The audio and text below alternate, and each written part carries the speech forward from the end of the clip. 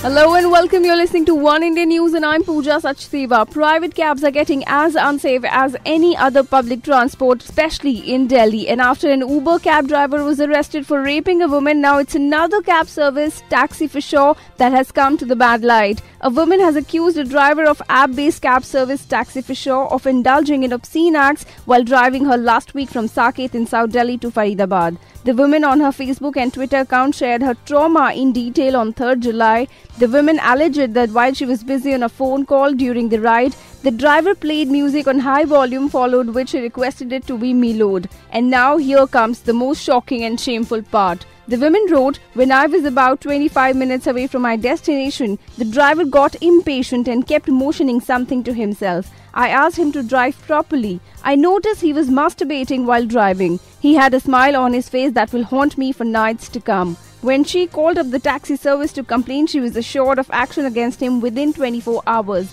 and she has informed that now that driver has been fired. But she ends her post with a question that will remain in every woman's heart till this problem gets eradicated from the roots.